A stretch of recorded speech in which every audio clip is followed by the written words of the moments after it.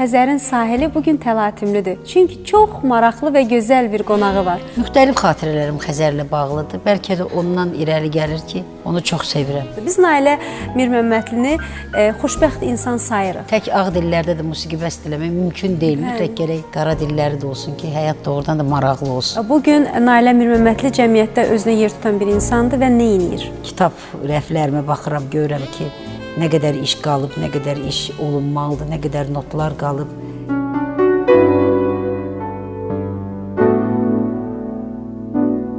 Həyat meyarı ən başlıcası, ən əsası hansıdır, nədir? Əgər o iman olsa, o Allah xofu olsa, insan hətta öz tərbiyə, nəinki öz tərbiyəsində, hərəkətlərində belə hər şeyi çərçivə ilə tənzimləməyi bacarar.